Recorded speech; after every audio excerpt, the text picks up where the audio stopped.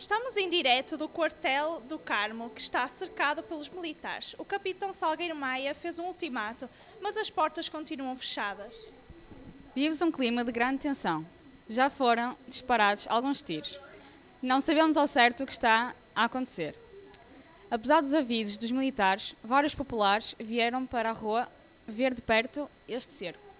Também nós vamos continuar aqui no quartel do, do Carmo. É só.